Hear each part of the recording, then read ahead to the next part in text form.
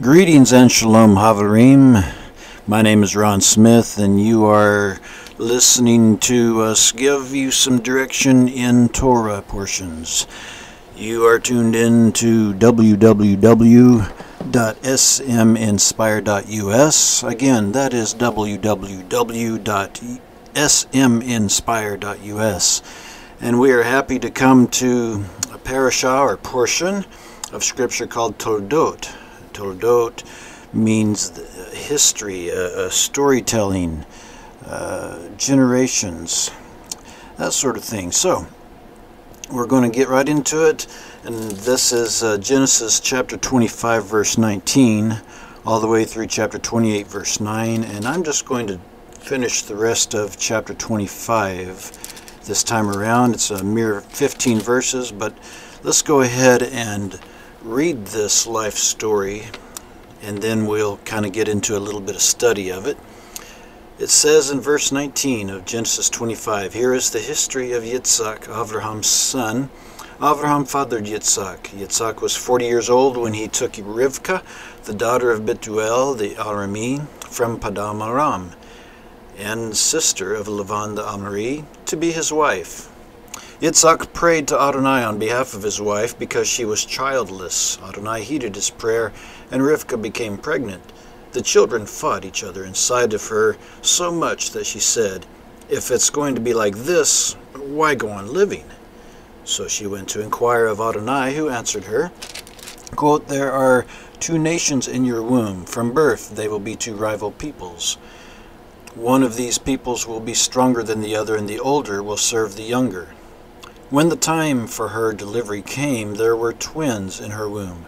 The first to come out was reddish and covered all over with hair like a coat, so they named him Esav. Then his brother emerged with his hand holding Esav's heel, so he was called Yaakov. Yitzhak was sixty years old when she bore them. The boys grew, and Esav became a skilful hunter and outdoorsman, while Yaakov was a quiet man who stayed in the tents. Yitzhak favored Esav because he had a taste for game. Rivka favored Yaakov. One day when Yaakov had cooked some stew, Esav came in from the open country exhausted and said to Yaakov, Please, let me gulp down some of that red stuff, that red stuff. I'm exhausted. That is why he is called Adam, meaning red. Yaakov answered, First, sell me your rights as the firstborn. Look, I'm about to die, said Esav. What use to me are my rights as firstborn? Yaakov said, First swear to me.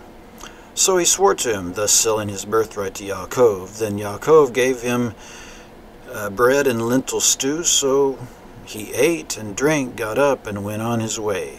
Thus Esav showed how little he valued his birthright. Let's pray. Heavenly Father, Lavina Shabbat we love you. Thank you for this portion. Thank you for the uh, the meat that is in it that we can take with us today. The the stuff that we can learn from this portion. And even in this part of this portion, we ask that your Holy Spirit would lead us, guide us, give us indeed revelation, so that it may become fresh and new in our lives today so that we may have the freshness of your Holy Spirit with us, ever renewing us, ever even renewing our minds so that we be not conformed, but rather transformed. We are grateful for the leading of your Spirit. B'Shem Yeshua, in Jesus' name. Amen. Well, this life story is that of Yitzhak, who, like his father, had problems to overcome base and even warlike behavior behaviors, and uh, perhaps as well as the uh, greed of his boss or father-in-law, will become par, part and parcel, parcel of Isaac's challenges. We remember that uh, the first time Toledot is spelled fully, the word Toledot meaning generations here, usually Bibles will translate it that way, it's spelled fully in Genesis chapter 2 verse 4, speaking of the generations or history of when the heavens and earth were, well, more together. Toldot is spelled defectively after that and until Matthew chapter 1 verse 1 even though there is actually one little spot in between that is different and I will probably point that out later on maybe even in the next reading the whole of the Bible is the history or Toledot of redemption well let's talk about a rather passionate couple Genesis 25 19 through 23 in this particular reading, we have Yitzhak. At 40 years of age, he's praying for his barren wife. In fact, Vayatar, Vayatar Yitzhak la Adonai lenotrach. Literally translated, Isaac prayed passionately or richly for his barren wife. As a result, Adonai heeded his Yatar, his rich, passionate prayer, and Rivka became pregnant. The same is seen to happen with Sarah, Rachel, and Leah as well. Note the length of time that Yitzhak, you know, prayed richly. Verse 26 says Yitzhak was 60 years old when she bore him, Icanizi. So that means that he prayed richly for 20 years. Again, by means of inspiration, the Spirit in us, guiding us, of the Holy Spirit throwing, flowing actually through Moshe, the latter was not seeking to write about all the details of these patriarchs and matriarchs, but rather to tell a theological and prophetic story within the purposes of redemption. That in mind. In the same context, Rivka will be seen worshiping the Lord with the same struggling intensity the two boys in her womb are the expression of that struggle. Adonai clarifies, quote, There are two goyim, you know, two nations, two heathen, two Gentiles in your womb. From birth they will be two rival peoples. One of these peoples will be stronger or bolder than the other. Virav avod Tza'ir, and the macho guy will serve the little guy. Though twins are a special blessing, the word blessing may mean a large bag of issues to go along. No two boys, twins though these be, are alike, even when raised in the same exact environment. Our couple is faced with the challenges of raising children, yet the intensity of their relationship with one another and with Yah appears to be the prevailing factor that will see them through. Amen. Well, I've titled this next section, Grabbing a Foot That Is Heading for Your Face. Genesis 24, verses 24 through 26. Or, uh, pardon me, I'm sorry, Genesis 25, verses 24 through 26. I'll read it again just quickly to remind you. It says, When the time for her delivery came, there were twins in her womb. The first came out the first to come out was reddish, covered all over with hair, with a coat, so they named him Esav. Then his brother emerged with his hand holding Esav's heel, so he was called Yaakov. Yitzhak was 60 years old when she bore them. So the first boy comes out reddish in color and coated with hair like fur. They named him Esav. Esav means he's done as in completely covered in hair like an older man. Because the second to arrive had gripped the elder's heel, he is named Yaakov, meaning both he catches by the heel or he supplants, supplants, as well as he will be resultant or effective. It also has that meaning, though we never are necessarily taught that. It is quite common for a child to kick his or her way out, and not uncommon for a child to stretch out a hand or two as he or she is about to be birthed. These commonly known matters aside, the Lord inspires Moshe to write about these events in light of two different people groups, even though they're brothers, they're twins. But these two brothers do not merely have to do with two different nations, but moreover two different lifestyles and belief systems, though directly related to each other.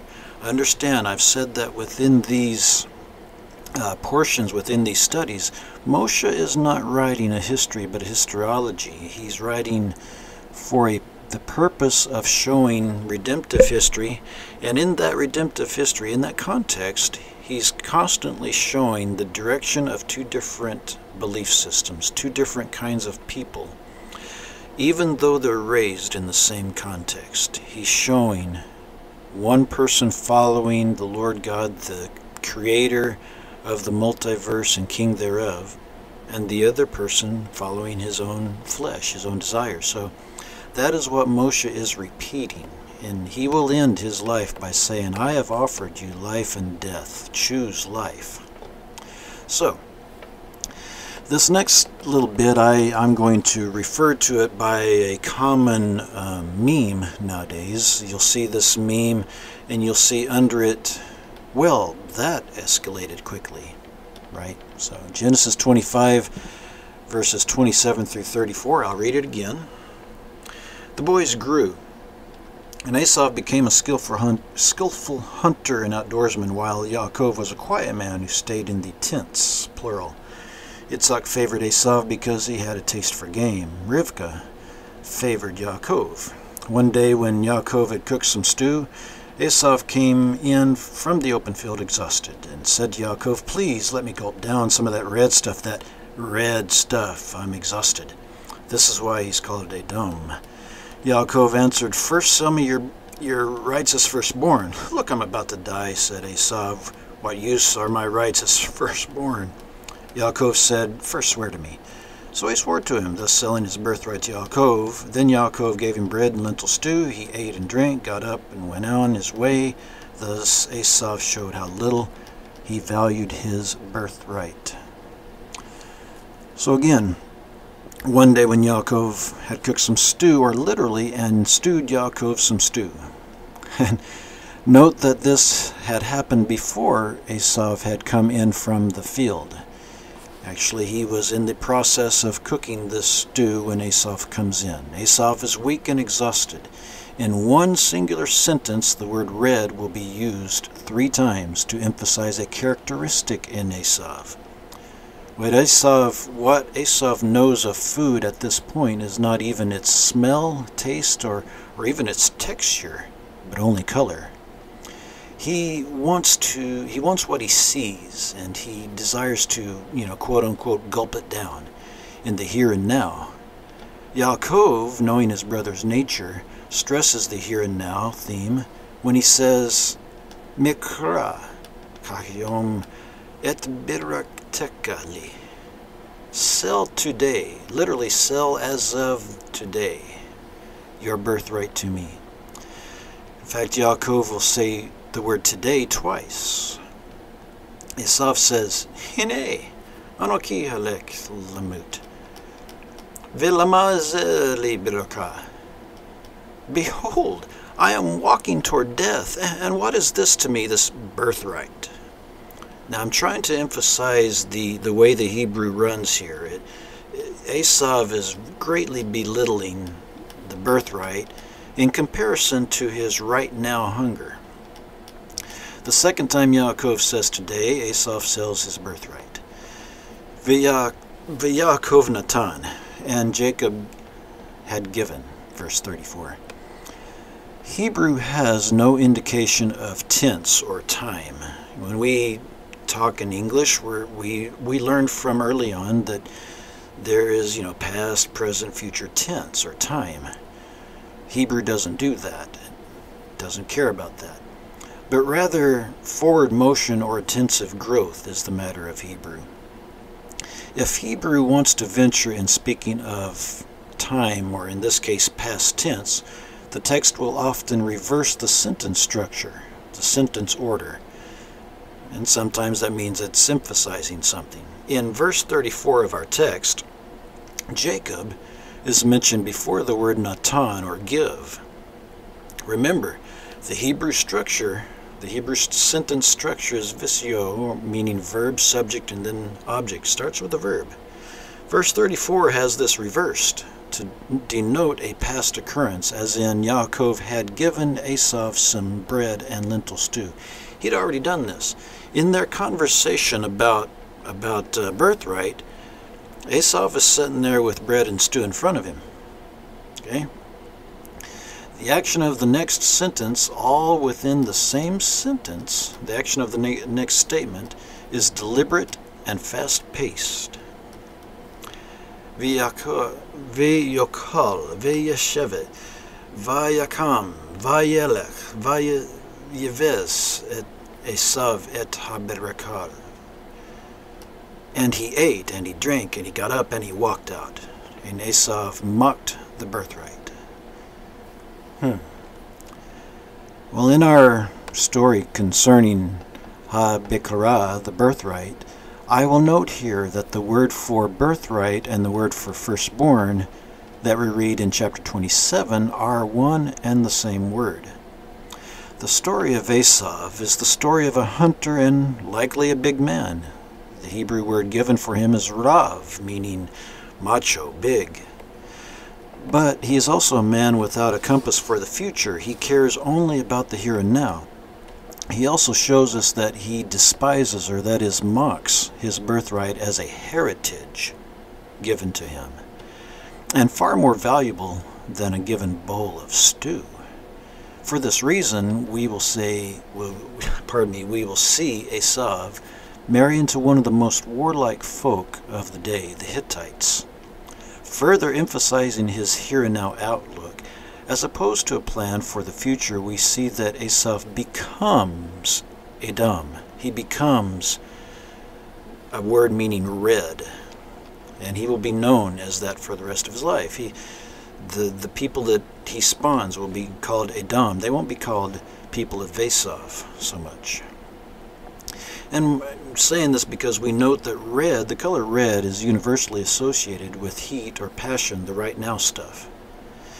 Edom will become more than a nation or tribe, but as much as a symbol. By the time you get into the, the era of the what's called the Beit Din prophets, the the prophets who are uh, sending out words of judgment or words of quick, you know, decision making that the Lord is going to do. By by the time you get to those types of prophets, Elijah, Elisha, uh, Isaiah, and so forth, Edom or Edom is used as a symbol of those who are at odds with the existence of their brothers Israel. Just as Amalek will become a code word for folks who are savagely out to destroy Israel. The Haftarah for this portion of Torah is Malachi, or Malachi, chapter 1, verses 1 through chapter 2, verse 7 wherein our God will say, what I've also strove to say. I, he says, I love Yaakov. I loved Yaakov, but hated, or that is, rejected Esav, Edom. He further warns Israel not to despise Adonai by threatening his or treating his altar with contempt or disrespect. The, the same word used of Esav or Edom as despising the birthright is used in Malachi when it says, Do not despise the Lord. He says that to Israel. What is to typify the priesthood of Israel is a, quote, covenant of life and peace, unquote, wherein, quote, the true Torah was in his mouth and no dishonesty was on his lips. He walked with me in peace and in uprightness and turned many away from sin. A Kohen's lips, a priest's lips, should safeguard knowledge, and people should seek Torah from his mouth, because he is a messenger of Adonai Zevaot. Adonai, that meaning the Lord of armies.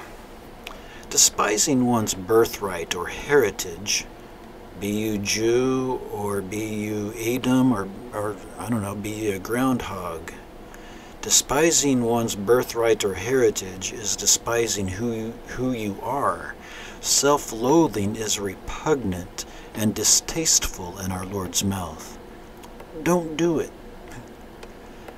A suggested reading from the Brit Hadashah, the uh, Renewed Covenant, is Hebrews chapter 12, verse 14 through 17. Let me go ahead and turn there. I wasn't planning on it, but, you know, I like talking to you. I like, you know, actually bringing you to the text. So, Hebrews chapter 12, verse 14 through 17 says, Keep pursuing shalom What is shalom? We, we say it's peace, and yes, it does mean peace, but first and foremost, it means wholeness, or that is inner health. It means wholeness, inner health, or integrity, and then it means peace. And peace is not a lack of war, peace is not a lack of anything. Peace is a person. We call him Yeshua. Keep pursuing shalom with everyone and the holiness without which no one will see the Lord.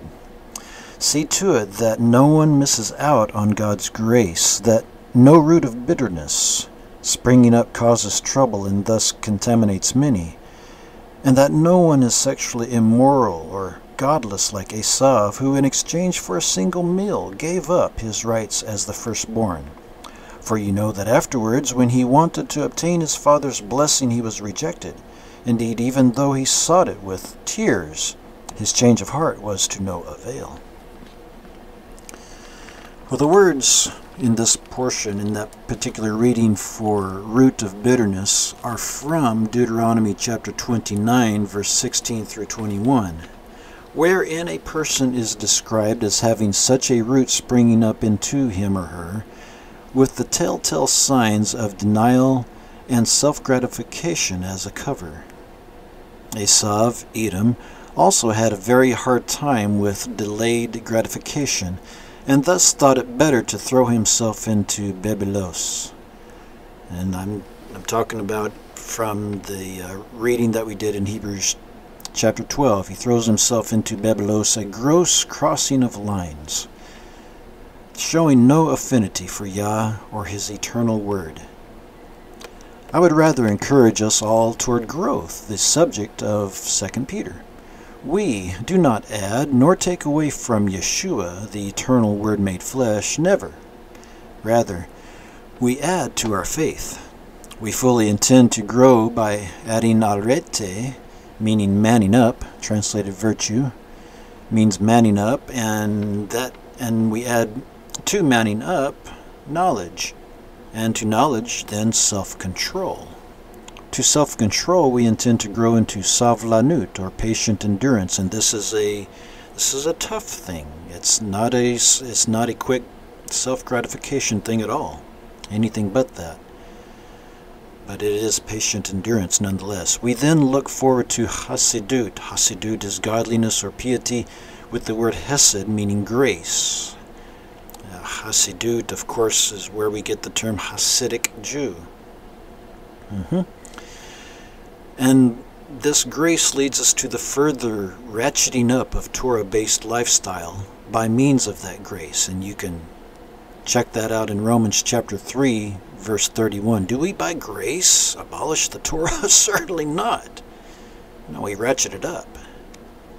Therein we are now able to see more clearly into adding that grand thing called brotherly love, or love of the brethren which takes us to that ever wonderfully elusive agape, operating all within the unfathomable love of God. Edom's growth pattern is called Mashik.